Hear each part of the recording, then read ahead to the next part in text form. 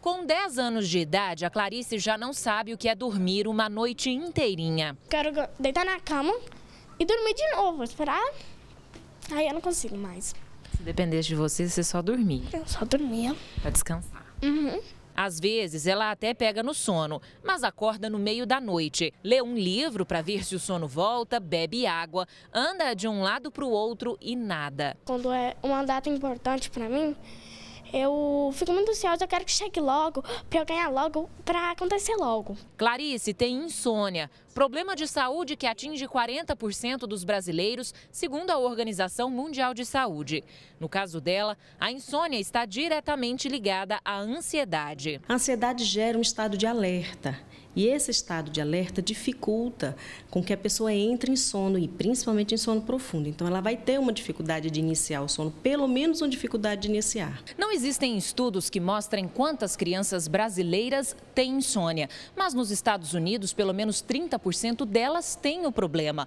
Quem não dorme direito à noite acorda irritado, cansado, ganha peso e ainda pode desenvolver hipertensão. A mãe de Clarice acredita que a insônia e a ansiedade que ela sempre teve passaram para a filha. Quais eram suas preocupações que não te deixavam dormir?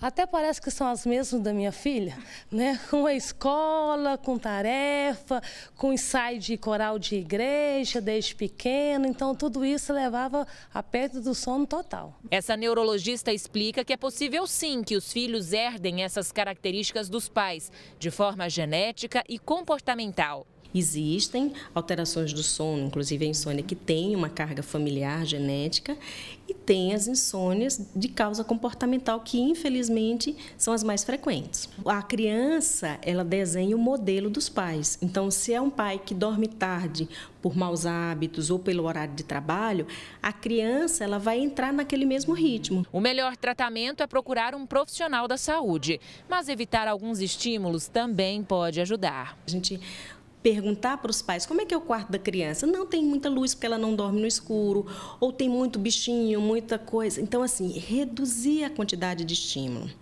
Atividade física é bom? É, mas não muito próximo do horário de dormir.